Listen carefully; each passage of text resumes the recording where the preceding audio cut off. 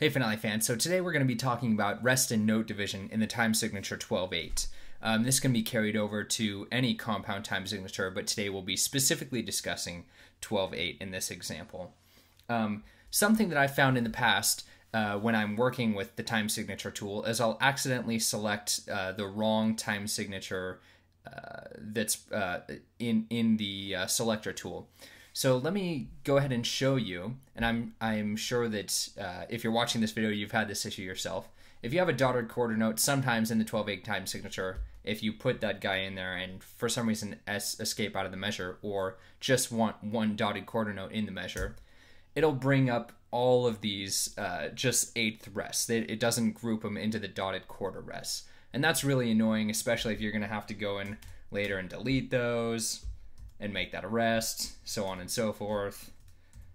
Um, rest. It's just not efficient, it's not effective, and it's not fun to do. So let me show you a quick tip um, to be sure that you're selecting the right 12-8 time signature. We're going to go ahead and clear all those items. Go ahead and select your time signature tool. Double click on this measure. You'll see right up here uh, that it shows 12-8, that's the time signature we want, but it's divided with at 12 actual eighth notes all flagged. They're not they're not uh, beamed or uh, grouped into dotted quarter rests so what we actually want to do is come back here. Let's find our four time signature. Um, so let's say you're on 4-4 what you want to do is just click to the right of this bottom the beat duration and it will bring you to the 12-8 where the quarter note where, where the eighth notes are grouped into a dotted quarter note for the beat.